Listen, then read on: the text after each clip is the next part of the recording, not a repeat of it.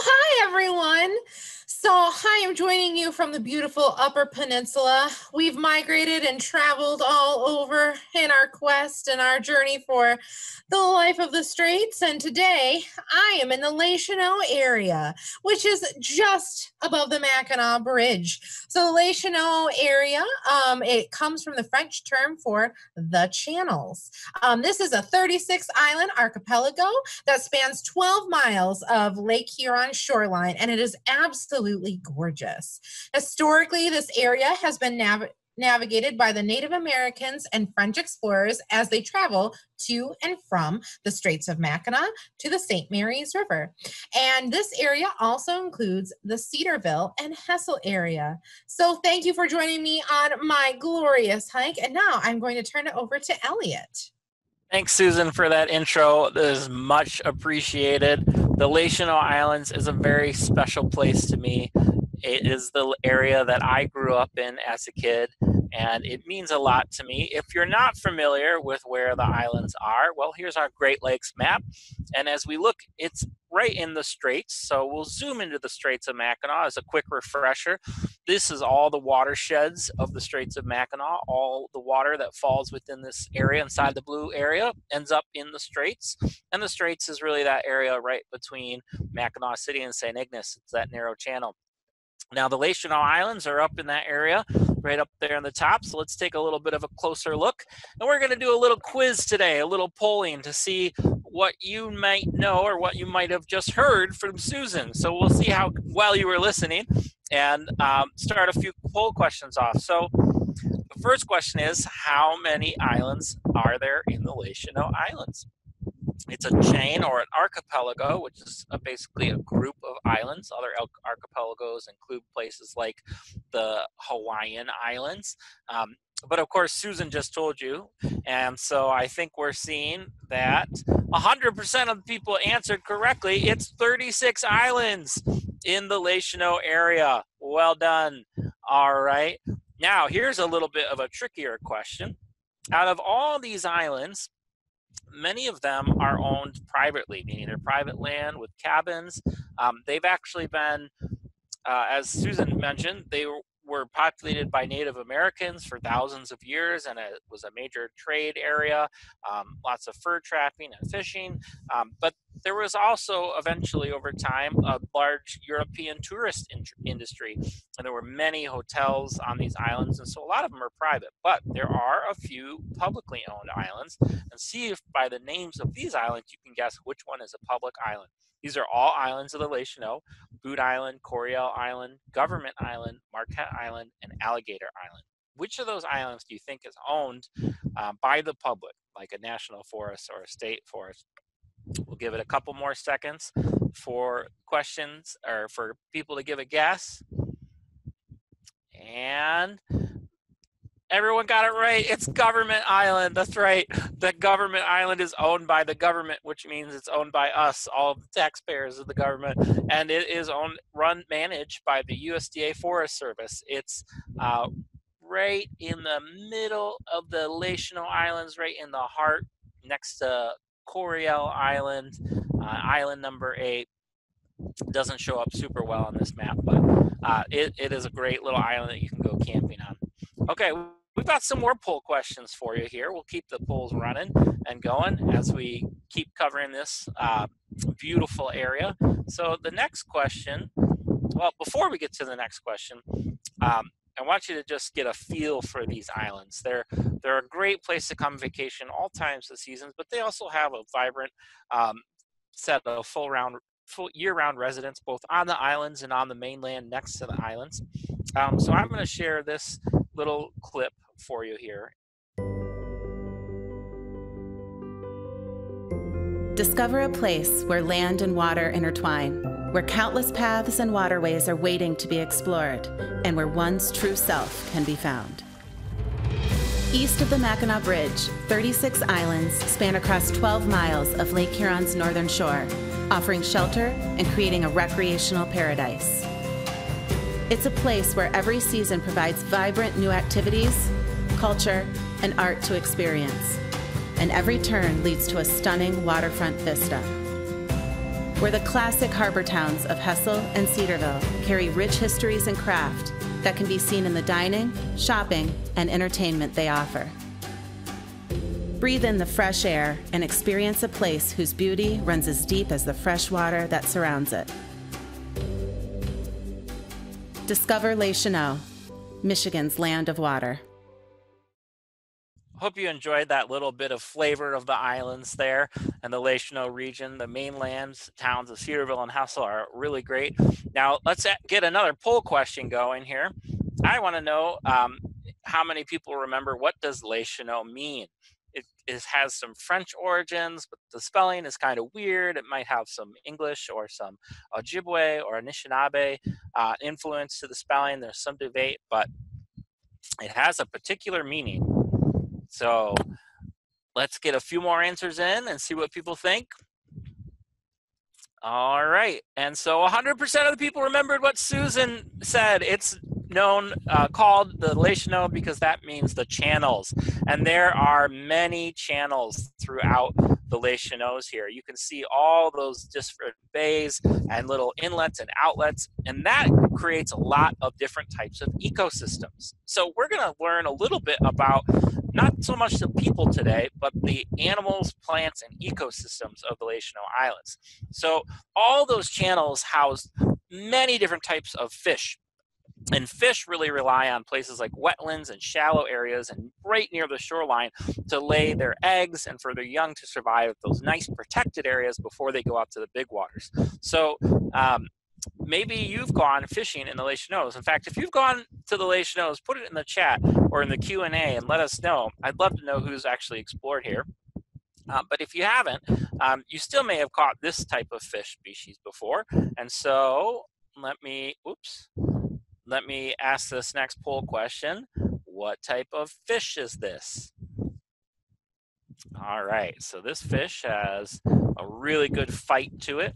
A lot of people like to fish for these.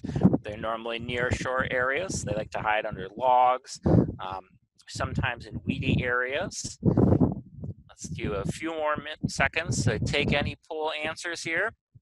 Is it a bass, a perch, a pike, a lake herring, also known as a cisco, or a trout? Ooh, answers are a little split on this one. Well, folks, the answer is a smallmouth bass. Now, the Cheneaux Islands is actually one of the best places around to go smallmouth bass fishing. It's not really known for that, but the smallmouth bass population has really grown over the last years and it has excellent bass fishing. All right, let's try another one. Um, so what is this fish? Now this one's a little less well known. There's a really unique fishery here for this fish, which comes in from the big water to eat mayflies in June and July when they hatch and turn from aquatic organisms into flying organisms. Mayflies cover the whole area in the um, summer months. In June and July, they come onto shore and they land in all the buildings, but they don't do anything bad. They have mouths. Um, or I'm sorry, they don't even have mouths, a lot of the species, because they only spend a few weeks as a flying land creature before they lay eggs, which will then become aquatic macroinvertebrates for a number of years. All right, we've got a few answers in, and this one's a tricky one. This is the lake herring, the lake herring or cisco. It is a really tasty fish when it's smoked. It's one of my it's my favorite smoked fish actually. And if you're lucky enough to come up here, it's a really unique fishery that a few of our charter captains know how to take people out on. So you can learn to fish a whole new type of fish. It's really fun. Okay, last bit, these are all the wetlands of the Les Cheneaux on the land. So obviously the water is wet, but the land is very wet here too. And wetlands are one of the most important ecosystems in the world. They are biodiversity hotspots and they're where lots of different creatures spend their younger days.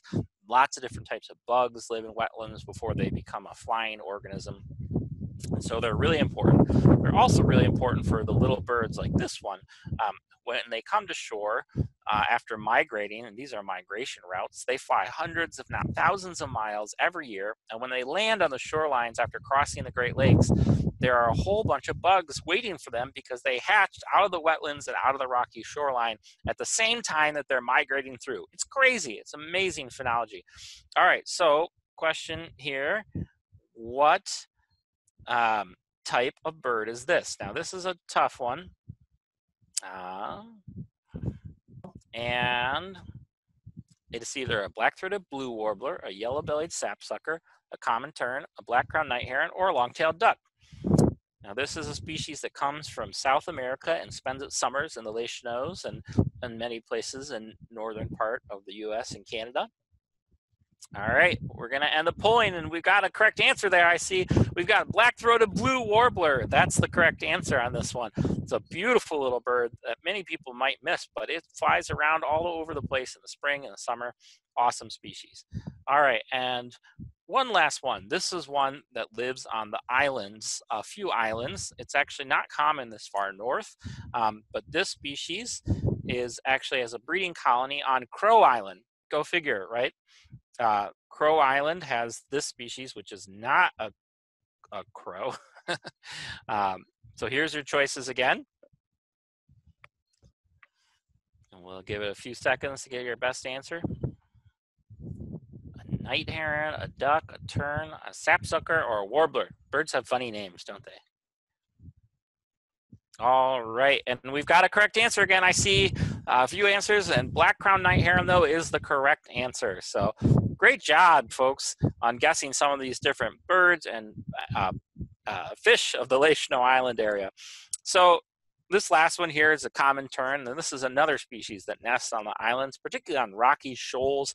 Uh, it's a state threatened species so just emphasizing that there are a lot of really amazing um, little creatures that live throughout the Cheneaux in a variety of types of ecosystems. Now today I'm going to take you on a journey to some really great uh, ecosystems that are found in a particularly special place within the Cheneaux. Now, this isn't actually on an island, but it's right on the mainland. It looks across, out, actually out to Bear and Crow Islands, a few of the um, most eastern Cheneaux islands. And this special place uh, means a lot to me. I grew up um, just within a few miles of this place. I was very lucky um, to be able to grow up so so close to such a wonderful place. So I'm going to share this place with you, and I hope you enjoy it as you watch this video.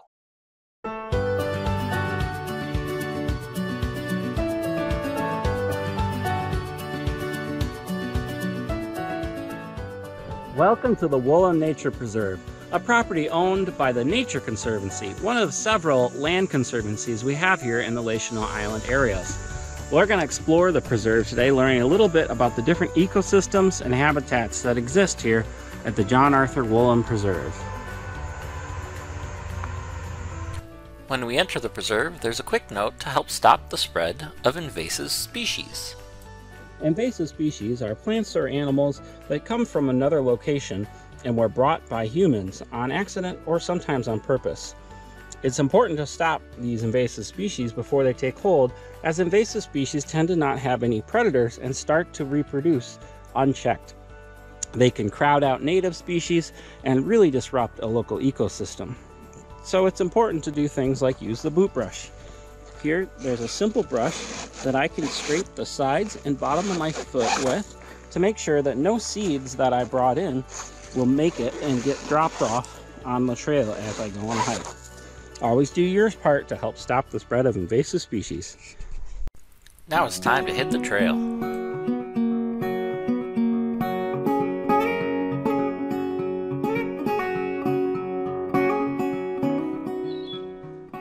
The Islands and the many preserves that are within them are right at the very southern edge of a very massive ecosystem known as the boreal forest. Now we're right kind of getting into that transition zone where we leave the hardwoods of the lower peninsula of Michigan and start to transition to boreal forest. Now, the boreal forest goes all the way around the globe. You can find the same kind of forest in places like Japan and Russia and Northern Europe. And many of the species can be found in some of those other forests too. We'll check some of those out later today. Right here today, what we've got though is a really beautiful patch of thimbleberry. Now, this thimbleberry is a very particular species that has a really big raspberry like berry. Now, these ones aren't quite ripe yet. They'll be bright red, just like a raspberry, when they're ripe. And you can see they're a little bit wider than a normal raspberry.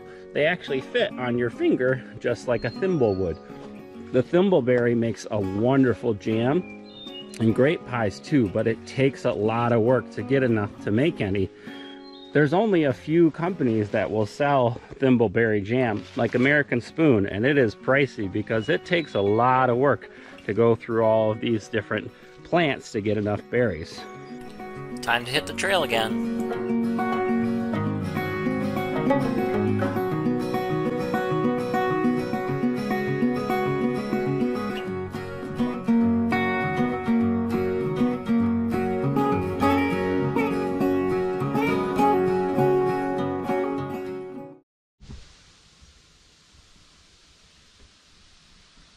Now that sound you hear is the rustling of the quaking aspen. Now like we said, this is boreal forest, but the boreal forest is made up of a variety of specific subsets of ecosystems. When a forest is cleared or a patch of land maybe has a tornado go through or logging happen, new plants start to arrive first that like a lot of sun. And one of those plants is the quaking aspen. Now the quaking aspen right here is a plant with really unique little leaves that tremble in the wind. You can hear them trembling now. Now what's interesting about the quaking aspen is that it doesn't live very long as far as trees go. About 50 to 80 years at most. We think of trees as living hundreds of years, but the quaking aspen lives just about as long as a person, sometimes not even as long as that. That's because as the quaking aspen grow up, they start to shade the understory, and we can see that it's quite shaded down here. Now, when there's lots of shade, baby quaking aspens cannot do as well. Instead, other plants, like this spruce plant here, the spruce tree, or this balsam fir here that has the needles, start to take over because they can grow in the shade. So we can see down here, there's almost no quaking aspen.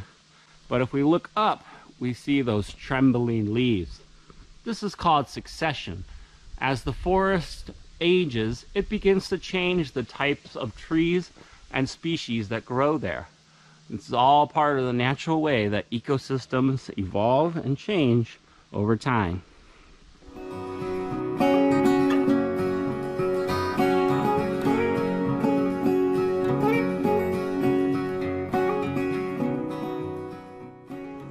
Here's another interesting set of plants that may look a little unassuming, but are quite amazing. Now this plant is called a bunchberry. You can see it has four leaves here, or some of them have up to six leaves. Nice and round with thick veins. And of course, a bunch of berries at the top. These are kind of whitish greenish now, but they will turn red eventually.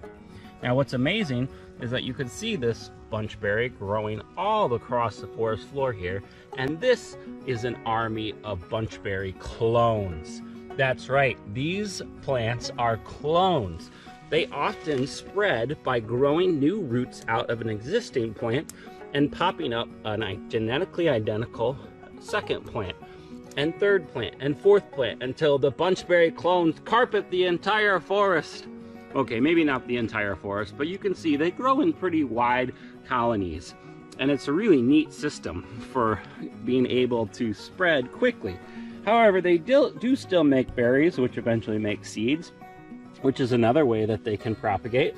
And one of the fascinating things about these flowers when they first come out, this bunch of berries will actually be a white flower and it will have pollen and seeds that need to get the pollen to start to make the fruit.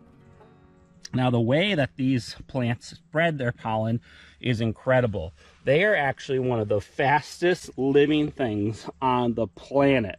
That's right. A plant is one of the fastest things that we've ever recorded.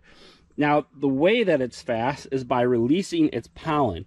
It actually keeps the little pollen holder uh, called the stamen in a tiny little package that's spring loaded. And when it's ready to release that pollen, that spring loaded stamen pops out at 24,000 meters per second it takes less than a millisecond, half of a millisecond, for that to happen. But it happens so fast that it is actually two to 3,000 times the force of gravity. It's one of the fastest plant actions we've ever found. My camera could never record it because it takes a camera that can catch up to 10,000 frames per second just to get an even glimpse at this incredible pollen process. So the boreal forest might be full of some really cool plants and animals that are nice and big, but sometimes it's these little guys that have some of the most impressive and amazing features of all let's continue on our way.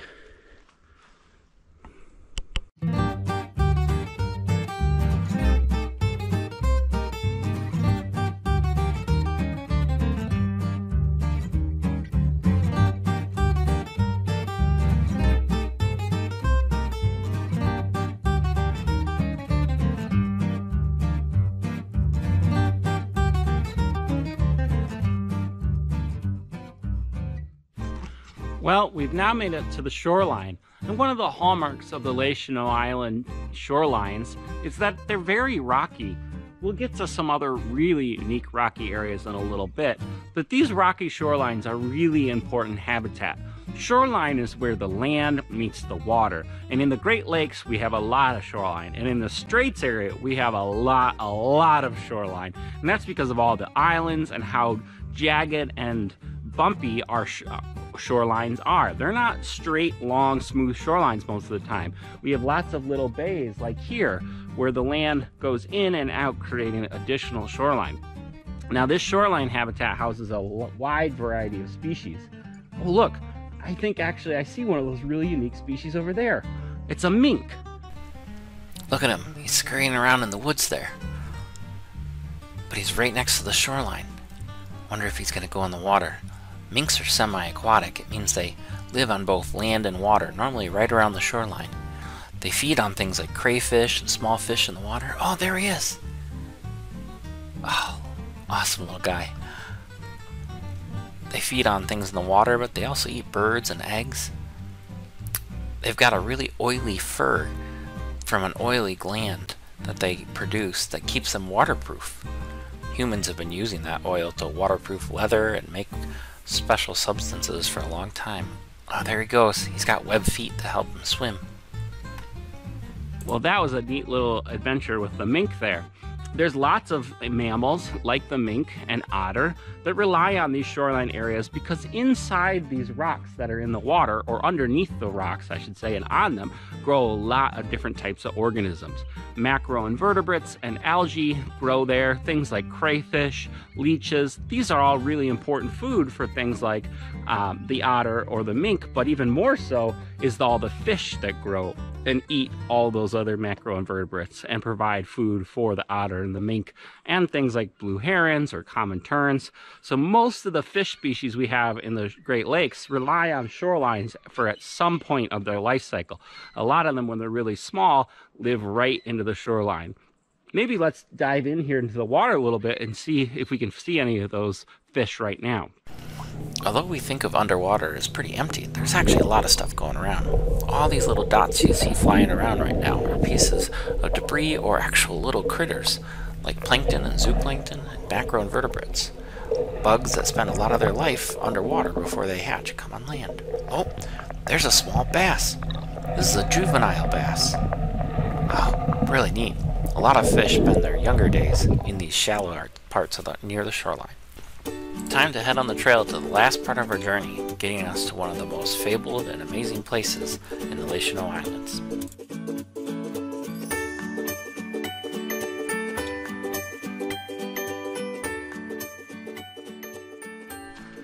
Here we're coming up to the unofficial entrance to one of the most magical and mysterious places in the Les Cheneaux Islands. It's dominated by massively large boulders. This one is probably 15 feet tall and 30 feet wide, and this one's split in half. Let's walk through this together. Now you can see there's a sense of awe and mystery as you go between the giant split rocks, almost like we're going through a wardrobe. Some might even call it a wardrobe. And when you get through the wardrobe in Narnia, you're of course gonna find the lamppost.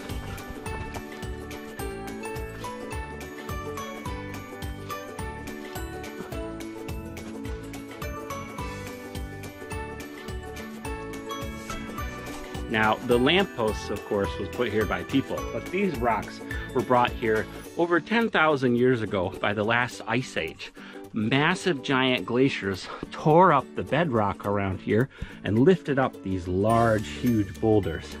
Now you can see there's a lot of pitted edges and jaggedness to these, and that's because these boulders are made out of dolomite, which is calcium magnesium carbonate, but it's really a product of a million years ago, millions of years ago, when there was a sea here, an ocean.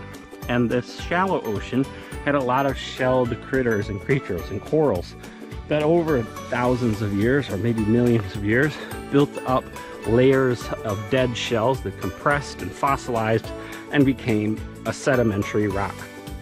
Now, this sedimentary rock, in some places, has actual fossils that you can still see today. Little bits of shell or coral, like here for example, we have a nice little line of coral that's still visible and running through here.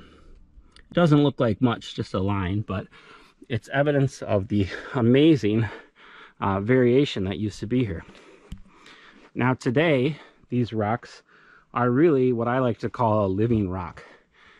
They are built up with hundreds, if not thousands of years of plants that have started to create a little living system. Now these systems create are created by lichen that first form, a little plant that is actually both a fungus and a photosynthetic algae. As they begin to grow, they allow for a space for moss to start to take root onto the rock. The moss builds up over time, holding a lot of moisture on the rock, which eventually starts to allow for a soil buildup and things like ferns to grow. There are different types of ferns across all of this rock. As that soil layer builds up more and more, as the ferns and moss begin to die and needles from nearby trees fall on there, we start to see other plants like this Canada Mayflower, a really nice pretty little plant. Eventually trees like this balsam fir or this cedar tree build up beginning to really form an entire ecosystem through their root systems. Really big,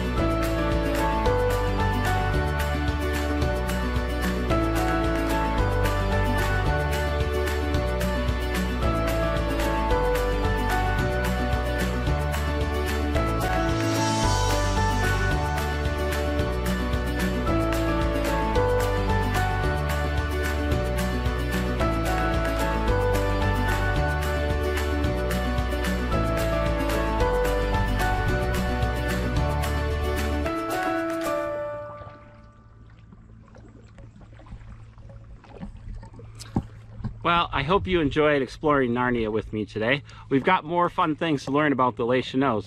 And I hope at some point you get to come here and learn for yourself in person.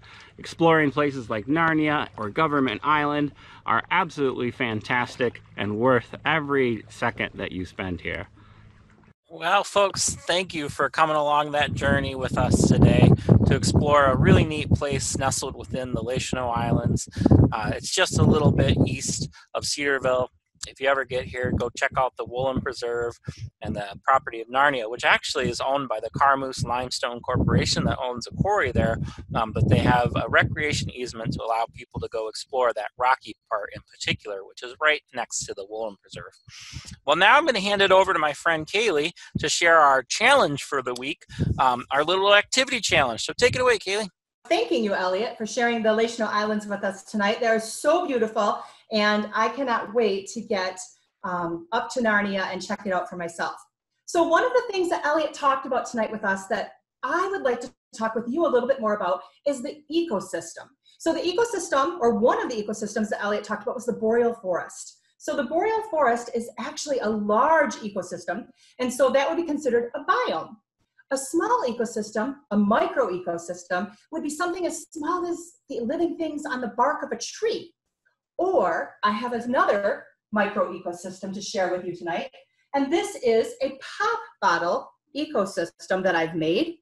And this is the challenge that we're going to ask all of you this week.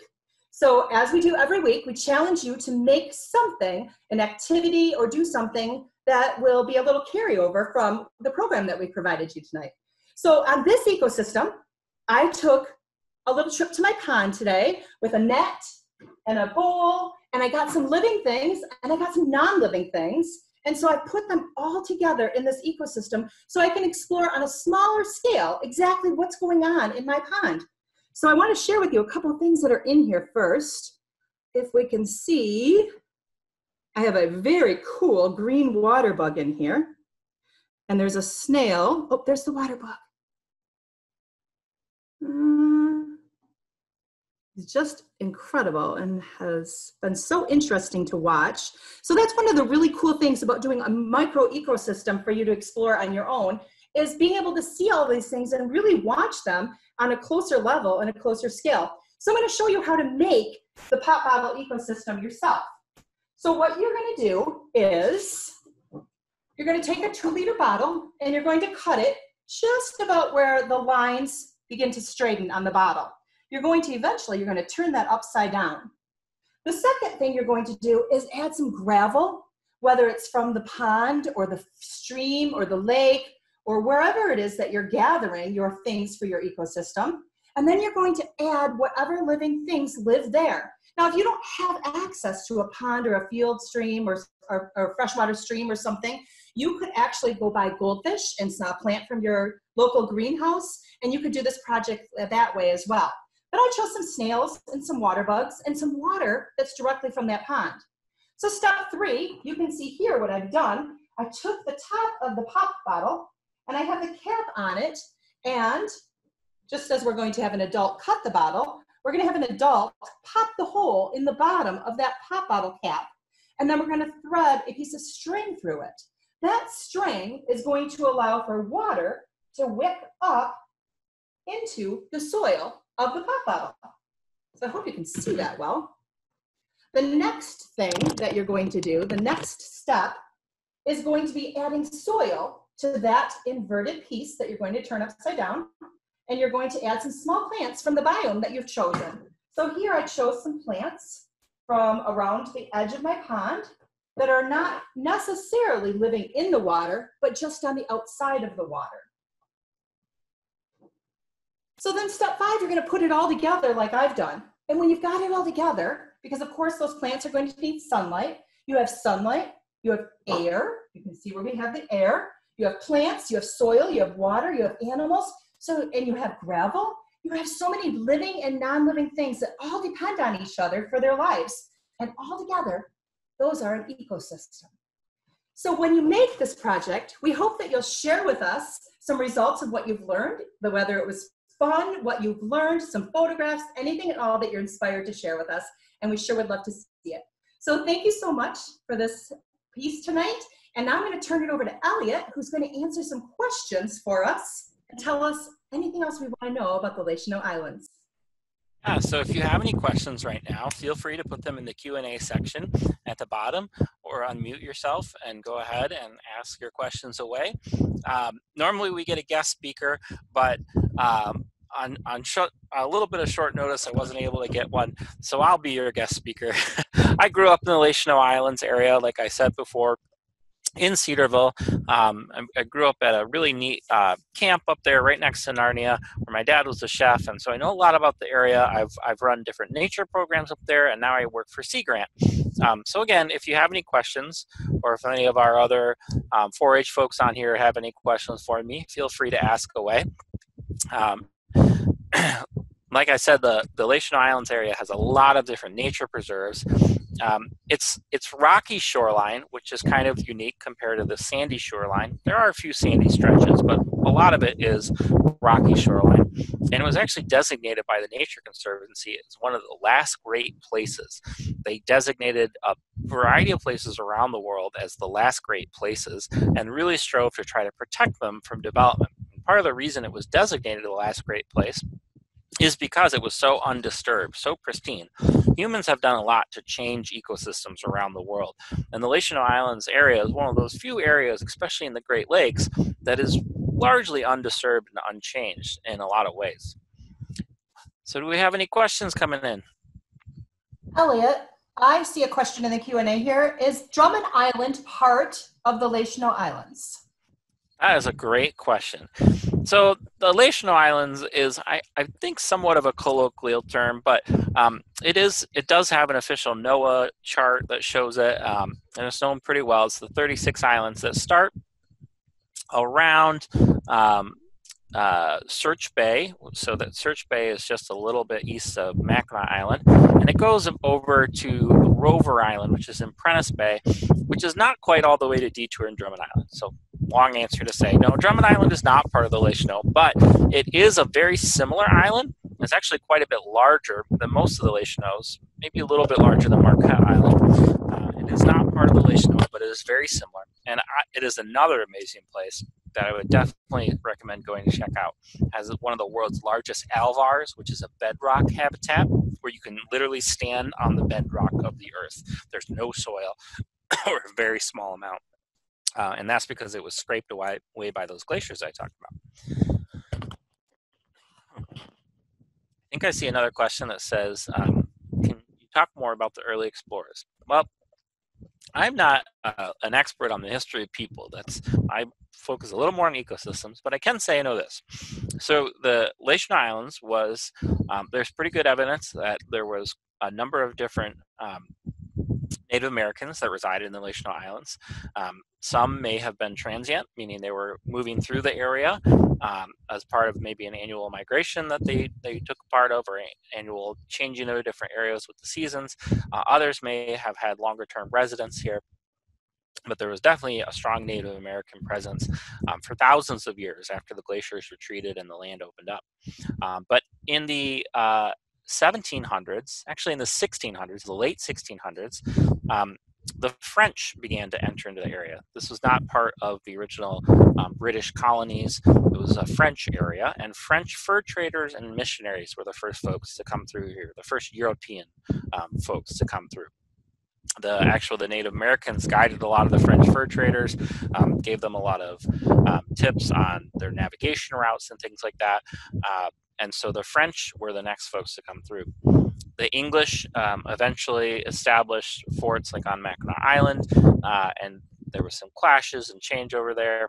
But the next round eventually were the Americans, the newly established U.S. country, and they came through um, in not exactly the greatest way. really, the French fur traders probably wiped out quite a bit of the um, beaver that were in the area, reducing the numbers greatly due to the demand for beaver hats, fur hats um, in England. Next came through the um, logging industry alongside the commercial fishing industry, which clear cut a lot of the area. There were a number of sawmills around here. Um, and you know back then logging wasn't really done super sustainably so it was kind of clear cut and take everything fishing was kind of um, a, a, thing that happened to some degree. But the, the next thing that kind of happened after the logging as the land started to recover from sort of the that crisis that happened there um, was tourism. Actually, the Lake Islands had eight or nine very large hotels on the island. There used to be a ferry that went directly from Mackinaw City to the Lake Islands before the Mackinac Bridge was built. And so some of the ferries went to the St. Ignace, but some actually came straight here because there were so many people that would vacation in this area. And one of the people who used to vacation here was Aldo Leopold. Um, Aldo Leopold is one of the um, founders of conservation ecology and the land ethic movement. So he's a very famous person in the conservation world and in um, wildlife ecology. And he grew up uh, vacationing here in the summers through his um, kind of probably his early 20s or mid 20s. So uh, quite a cool historical figure here. Uh, so somebody else is asking is that the mail is delivered by boats to homes on the island. Is that true? I don't know if that's true for sure, but I do know that anything you needed to get to your home if you lived on the island or had a vacation home there, and this is true today still for the most part, uh, has to be brought by boat. Um, so I don't know if we have a postal service that goes to the islands, but I would imagine there was some form of mail delivery that took place on the larger hotels that used to be on the islands. Um, today, anything that you need to get to your island home, unless you live on Hill Island or Island Number 8, which do have roads and a bridge connecting them. But all the other 34 islands, most of which have homes on them, um, you need to bring it by boat. So we have barges that bring out people's um, wood if they're constructing a new dock or something. We have barges that bring out folks, um, uh, you know, lawnmowers or anything you need. And we have a few uh, grocery stores in town where if you go to go to the grocery store, you boat into town, park at the little dock in Cedarville, and you walk up to the grocery store. So, any other questions out there? Well, might not have any more questions today.